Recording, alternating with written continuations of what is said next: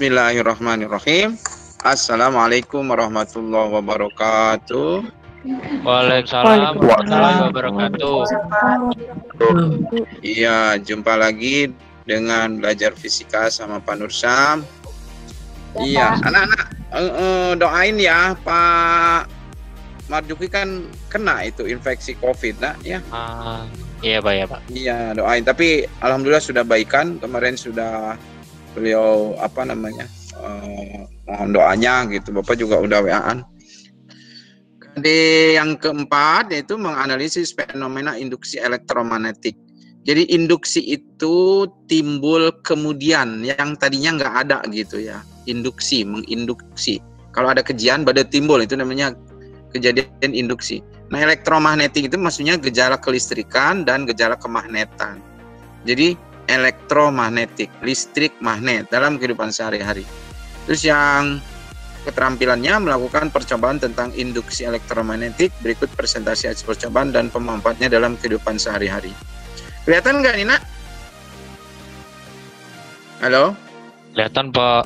Kelihatan Oke, Pak. Ya, ah, nanti ah, terus KD ini juga kita uh, bertahap dalam tiga pertemuan nanti yang sekarang ini nanti kita bicara tentang hukum Faraday.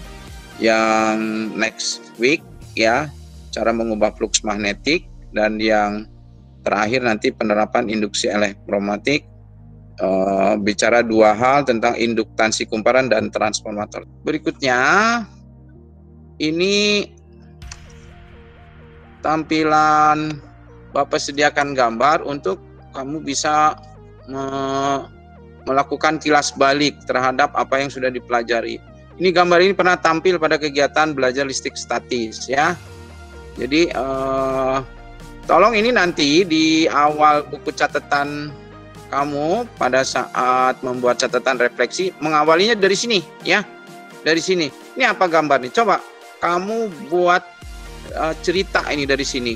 Uh, boleh searah jarum jam, boleh berlawanan jarum jam, boleh ngacak. Yang penting cerita itu dari gambar ini, dibikin cerita, ya. Setidaknya kalau Bapak Kamsan ini pernah waktu belajar listrik statis. Ini fenomena listrik statis itu digosok-gosok ada listrik kan begitu. Nah, termasuk uh, gesekan awan dengan udara itu menghasilkan ionisasi terjadi muatan listrik. Nah, karena muatan listrik berbeda potensial tinggi dengan bumi, maka listrik itu akan loncat masuk ingin jatuh apa netralisasinya ke bumi. Terjadi kilat itu kilat itu terjadi uh, listrik statis. Pada saat terang benderang begini kan nggak ada uh, kilat itu atau petir itu kan nggak ada. Tapi pada saat kapan? Pada saat ada awan bergerak. Wah badai mau akan puh langsung jeger jeger jeger. Itu listrik statis ya. Ada yang ditanyakan nggak sampai sini? Halo di salah satu atau keempat-empatnya Pak dibikin Yuk, keempat-empatnya karena ini kilas balik. Kamu pernah semua ini gitu. Jadi dibuat keempat ini menjadi sebuah cerita. Kira-kira kesimpulannya yang sudah kamu pelajari uh, Bapak uh, berikan apa namanya uh, highlight. Ya highlight itu bahasa Indonesia apa ya? Highlight. Jadi Uh, pertama ada statement karena gesekan atau gerakan itu bisa menimbulkan gejala kelistrikan itu yang tadi itu ya. Kemudian listrik yang tersimpan menghasilkan energi. Ini Bapak ingetin lagi karena kamu pernah melaksanakan eksperimen kapasitor kan diisi gitu terus bisa uh, diputus baterainya terus uh, menghasilkan lampunya nyala yang eksperimen virtual. Ya. Berikutnya listrik mengalir menghasilkan magnet. Jadi listrik bisa menghasilkan magnet. Terus interaksi magnet dan listrik menimbulkan gaya gerak ya. Oke bapak uh, berikan statement ini supaya kamu ingat-ingat ini konsepnya konsep penting di dalam itu. Bahwa kita itu bisa membuat magnet dengan menggunakan listrik. Kita bisa menghasilkan gerak dengan modal magnet dan baterai atau arus listrik gitu ya. Statement statement inilah membuat jadi uh, sudah ada uh, listrik dan uh, apa dengan listrik bisa membuat magnet terus ada magnet dan listrik berinteraksi menghasilkan gaya. Lalu pertanyaan uh, oleh Faraday itu mungkinkah uh, antara magnet dan gerakan bisa menghasilkan listrik gitu kan? Listrik bisa magnet gitu. Kemudian listrik dan magnet menghasilkan gerak. Mungkinkah magnet dan gerak bisa menghasilkan listrik? Nah dia menggunakan apa uh, eksperimen dengan gambar kayak kira-kira seperti ini. Anak-anak, kalau kamu waktu itu ini kan yang selongsong ini adalah paku gitu. Paku dililit-lilit kasih baterai jadilah magnet. Nah, kalau ini tidak ada baterainya. Ini hanya detektor arus. Ini juga bukan besi tapi selongsong isolator misalnya dari kertas atau apa, ya. Nah, tapi kalau punya magnet batang ketika magnetnya ini dimasukkan atau didekatkan, ternyata detektor arus itu menunjukkan uh, arus. Uh, kalau dideketin, nah tapi kalau diem, diem juga arusnya nggak ada. Kalau ditarik, arusnya juga dalam arah yang berlawanan. Maka Faraday kemudian menyimpulkan bahwa uh, arus yang terjadi pada rangkaian di sini itu disebut arus induksi. Kenapa? Karena menginduk pada peristiwa yang ini. Kalau peristiwa ini tidak ada, magnetnya dibuang, ini tidak ada arus. Tapi kalau begitu punya magnet dan didekatkan, uh, terjadilah arus yang timbul. Arus yang timbul karena sesuatu disebut dengan arus induksi. Nah, makin kuat ini perubahannya, arus induksinya makin kuat. Maka kalau ada arus, logikanya harus ada sumber listrik. Nah, sumber listrik itu disebut dengan GGL gaya gerak listrik. Nah, jadi logikanya ketika ini magnet digerakkan, maka seolah-olah di sini ada GGL, GGL yang datang tiba-tiba, ya. Nah, sebagai apa? Sebagai respon atas perubahan ini. Dan GGL itu menurut Faraday uh, tergantung pada jumlah lilitan. Jadi kalau lilitannya makin banyak, Kemudian uh, tergantung pada perubahan flux ya, perubahan perubahan oleh magnet yang bergerak ini dan uh, disebutnya ini kecepatan perubahan flux. Uh, tulisan ini delta flux per delta t dalam matematika juga sering ditulis dengan d flux per d. Bedanya apa? Kalau ini dalam selang waktu yang terukur ya. Kalau ini dalam waktu yang sangat singkat. Kamu pernah belajar limit kan ya? Jadi ini sebenarnya aslinya adalah N kali limit delta T mendekati 0, delta flux per delta T. Limit mendekati 0, delta T mendekati 0. Nah, limit delta T mendekati 0 ditulis dengan diferensial. Maka ditulis menjadi d flux per dt atau dp per dt dari flux ya. Apa saja itu? E-nya adalah GGL, GGL induksi, satuannya volt ya. Kemudian N-nya jumlah lilitan, Nah, delta fluxnya ini perubahan flux, delta T selang waktu. Nah, kalau yang ini nggak bisa dipisah. Ini d flux per dt disebut dengan laju perubahan flux magnetik. Jadi ini dua notasi dalam matematika yang maknanya dan penggunaannya beda. Ulang Bapak ulang lagi. Kalau delta flux per delta T, kalau delta T-nya terukur. Misalnya berapa detik, berapa detik gitu ya. Tapi kalau yang D per dt ini e, notasi untuk waktunya singkat. Delta T-nya mendekati nol gitu, hampir nol. Jadi hampir nol itu misalnya uh, antara detik ke 1,9999999 uh, sampai detik ke 2. Uh, berarti itu kan sangat singkat. Jadi delta T-nya hampir nol ya. Kemudian ini ada gambar uh, salah satu alat yang aplikasinya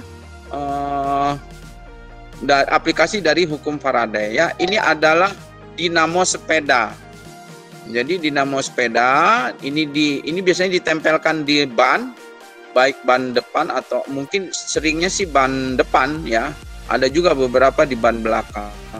Lalu nanti kalau nempel di ban, ban um, sepedanya bergerak, uh, lalu rodanya bergerak, maka ini juga ikut bergerak berputar. Nah, putaran ini mengubah flux magnetik. Flux magnetik kemudian timbullah arus induksi. Nah, arus induksinya itu disambungkan ke bohlam yang ada di lampu depan sehingga nyala begitu. Nah, kalau pengen kencang, eh, pengen nyalanya terang, sepedanya ngebut, jadi terang set gitu. Sepedanya berhenti, lampunya mati. Nah, Berarti sekarang dengan magnet dan gerakan bisa menimbulkan arus listrik gitu. Yang kemarin terbalik kalau gaya Loren dengan arus dan magnet menimbulkan gerakan, menimbulkan ah, itu namanya motor listrik. Nah, motor listrik. Tapi kalau dinamo dengan magnet dan gerakan timbul arus listrik. Nah, itu namanya dinamo. Uh, tadi di sini ada ada tanda negatif, nah tanda negatif. Jadi tanda negatif ini sebenarnya hukum lens, bukan hukum Faraday. Hukum lens itu untuk menentukan arahnya. Yang ini, ya. Jadi kalau magnetnya ini north, ini south ya, ini north itu uh, utara ya. Kalau kutub utara didekatkan ke selongsong tadi, maka uh, yang tadinya kertas atau selongsong kosong itu akan melakukan reaksi, reaksi respon. Kumparan ini mengubah dirinya menjadi magnet. Jadi ketika ini magnet datang, maka dirinya berubah jadi magnet supaya bisa melakukan respon. Ya, maka ini utara. Nah, jadi nah karena utara maka arus listriknya ngikuti ini tuh, mengikuti ini. Jadi kayak kepalan tangan ini jempol ini arah uh, medan uh, arah kutub utara dan jari-jari ini arah arus listrik. Sehingga arus listriknya langsung tiba-tiba muncul ke arah sana tuh, ke arah ke atas semua. Arah atas semua. Lalu dari belakang akan menuju ke uh, galvanometer ini detektor arus ya. Jadi pada saat pada saat ini didekatkan, ini nanti jarumnya akan menyimpang ke kanan. Sebaliknya nanti ketika ditarik tuh yang ini dan magnet uh, kutub utaranya ditarik ke sana, Nah, maka responnya kebalikannya. Ditarik, narik lagi. Kalau dorong, pengen dorong. Kalau ditarik, tarik lagi kan begitu ya. Di di apa namanya? Didekati nolak. Ren, halo Reni. Ren? Reni? Ada Reni? Ya, Pak. Nah, coba Ran, uh, dipikirkan tuh. Jadi kalau dideketin nolak. Tapi kalau ditinggalin narik, jangan pergi gitu kan ya Ren ya? Pada saat kutub utaranya ditarik, arusnya berubah. Kalau tadi kan arusnya ke atas tuh, ini. Kalau ini arusnya tandanya ke bawah. Ya. Ini Bapak ingatkan tentang konsep flux. Kamu pernah belajar tentang flux, tapi flux listrik waktu itu. Tapi hampir sama loh, Nak. Cara menghitung flux itu adalah jumlah garis gaya yang menembus sebuah bidang. Jadi misalnya ini, ini ada garis gaya menembus uh, ben balok atau kubus A B C D E F G H. Kalau yang menembus ABC, ABFE itu nggak ada, fluknya nol. Masih ingat itu ya? Eh, menembus ABCD juga fluknya nol karena nggak ada yang menembus. Tapi yang menembus ADHE itu sama dengan yang menembus BCGF ya juga sama meskipun ini lebih luas BCHE meskipun bidangnya lebih luas tapi sebenarnya fluk yang menembus bidang BCHE itu sama dengan yang menembus BCGF ya. Nah, tapi dirumuskan fluk itu adalah B, nah ini fluk uh, fluk magnet, B-nya medan magnet, A-nya luas penampang dan tetanya sudutnya. Jadi maksudnya gini, sudut ini adalah sudut antara uh, arah B dengan garis normal. Jadi kalau bidangnya A B C D A B C D bidang alas, garis normalnya itu ya BF ini atau CG atau DH atau AE. Maka sudutnya antara medan magnet B, medan magnet ini yang garis-garis uh, horizontal, maka sudutnya 90 gitu. Tapi kalau misalnya bidangnya ADHE ini bidang sebelah kiri, maka garis normalnya itu garis AB, garis e, garis EF, HE atau DC. Berapa sudut antara uh, medan magnet B dengan garis uh, normal bidang ADHE? Ya 0 derajat karena ini sejajar ya antara AB dengan uh, medan magnet yang garis-garis banyak ini. Begitu ya. Kan fluk magnet yang menembus bidang ABFE. ABFE Nah, ini hasilnya nol karena dalam logika kamu kan nggak ada yang nembus tuh. ABF itu nggak ada yang nembus. Maka hasilnya nol. Tapi kalau bidang BCHE sebenarnya rumusnya kan BA cos theta. Nah, daripada pusing-pusing mencari cos theta, nah, logikanya aja langsung. BCHE, BCHE ini yang bidang uh, melintang ke sini, ini BCHE, ini Bapak kasih garis-garis saja coba. Ini ya ke sini nih. Ah, BCHE ini, BCHE ini bidangnya itu tuh. Tuh ke situ. Ya. Nah, bidang ini sama dengan yang menembus BCGF. Jadi ya sudah cari aja bidang BCGF. Luas BCGF adalah BC kali CG. BC-nya kan uh, BC-nya ini 1,5 kali uh, sorry. Ya. 1,2 kali AB AB berapa? Oh, sorry, ini salah ya, bukan 1,2. Ini salah, harusnya 1, 1,5. Nah, nanti diperbaiki ya. Berikutnya menerapkan hukum hukum Faraday tadi yang rumusnya nih, rumusnya ini ya. Magnetik menembus kumparan 20 lilitan. Ini N dari 8,1 menjadi 0. Jadi mula-mula 8,1 kemudian jadi 0. Ini fluxnya. Nah, flux 1, flux 2. Dalam waktu nah ini terukur waktunya. Waktunya terukur berarti delta T. Maka rumusnya yang ini. Berapa gain induksi yang terjadi ya? Jadi dihitung, dimasukkan uh, eh, 0 dikurang 8 kam. Ini perubahan fluxnya dari 81 menjadi 0, uh, 0 dikurangi 8,1 ya. Hasilnya sekian volt. Kemudian uh, membedakan penggunaan rumus tadi itu. Kapan gunakan pakai yang ada delta T, kapan yang menggunakan diferensial yang ini. Nah, gitu.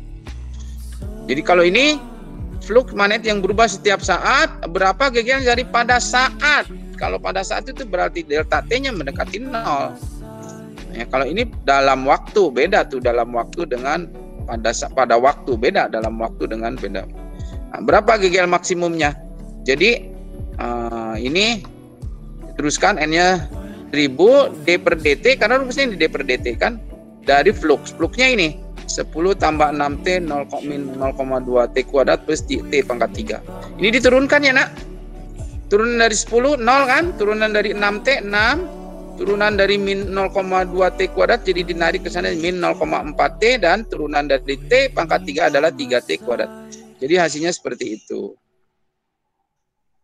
Enggak, anak ngerti ya? Dimasukin T-nya kan 10. Jadi ganti ini T-nya. Ini T-nya 10 tuh. Dari mana? Dari sini. Dari sini tadi. Ini juga 10 kuadrat ya. Nanti dihitung. Lalu berapa besar GGL maksimum? Nah, mungkin Bapak ingat Bapak, kamu udah kelas 12 pasti ingat tuh di matematik tuh ada yang namanya nilai stasioner. Jadi GGL maksimum itu GGL maksimum jika nilai uh, defluknya mencapai nilai maksimum ya. Jadi kan n kali ini selalu berubah. Jadi kapan maksimumnya? Kapan maksimumnya? Kita sebut saja defluk per dt-nya itu adalah uh, y. Maksimum kalau turunan pertamanya nol. Turunan pertamanya nol. Ini kayaknya banyak yang bingung deh. Apa dulu matematiknya ngerti? Atau memang udah lupa ya nanti Oh, diturunkan ini sama dengan 0 kan ini turunan dari 6 0 turunan dari 0,4 T 0,4 turunan dari 3 T kuadrat kan 6 T sehingga didapat T-nya. T-nya 0,4 dibagi 6 hasilnya sekian. Nah kalau udah disekian jadi maksimumnya saat T-nya sekian gitu. Maka setelah itu kamu dapatkan masukin lagi ke rumus E yang ini. Kalau tadi pakai 10 sekarang pakainya 0,067. Ini Bapak tidak dilanjutkan supaya kamu dilanjutkan sendiri.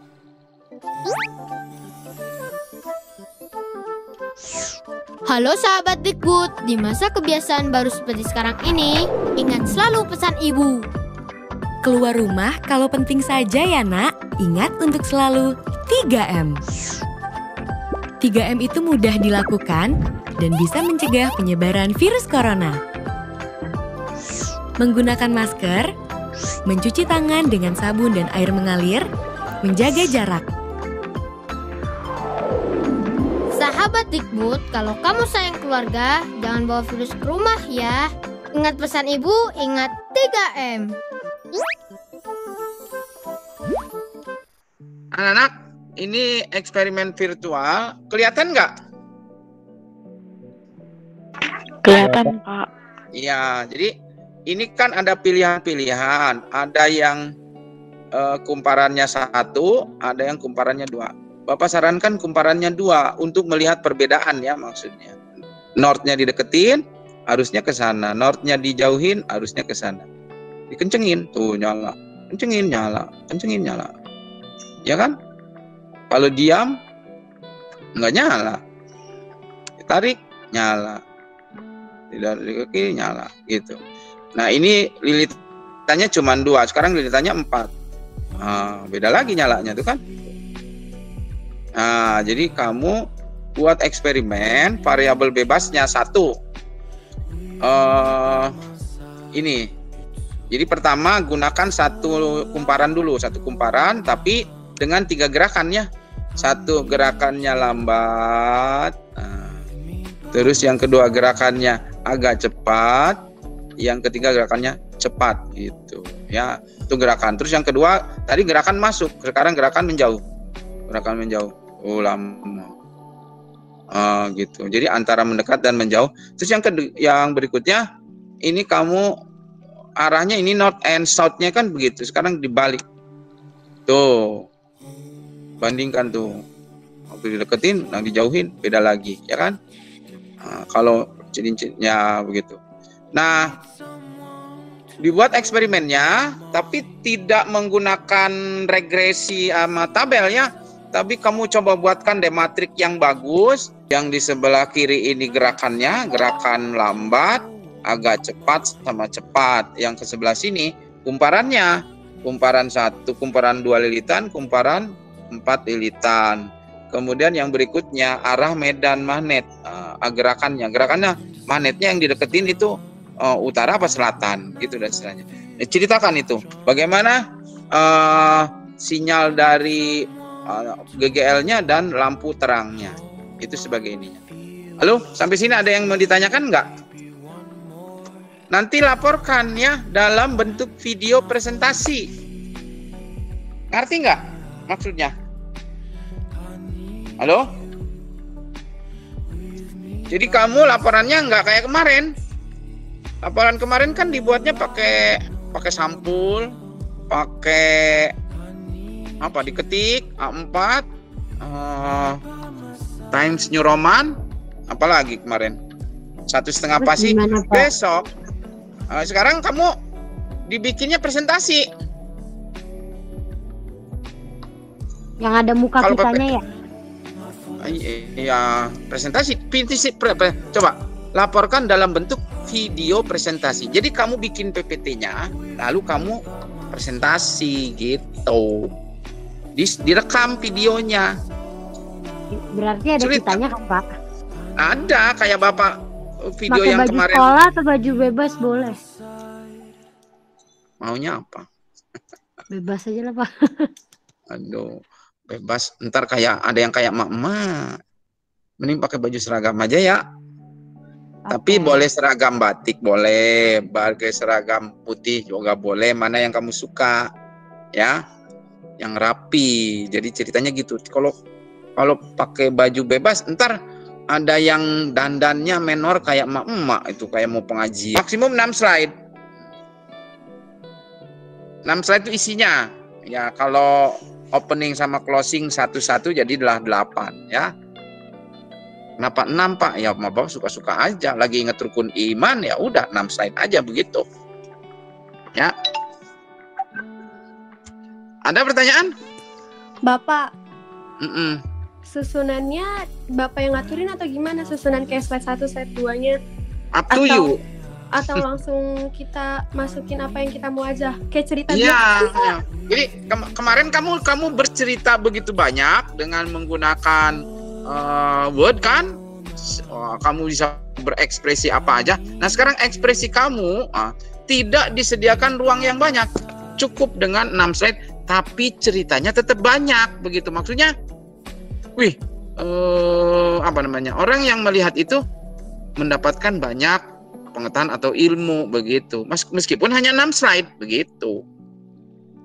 Jadi ini artinya gini, ini kamu meningkat kemampuannya. Kalau kemarin kamu bisa sepuas-puasnya bercerita dengan mempermainkan kata-kata, tapi sekarang kamu bukan hanya kata-kata loh ya. Kata kata kata-kata tertulis kan. Sekarang kamu bukan hanya dengan kata-kata. Jadi ada teks, ada gambar, ada suara. Suara kamu ada.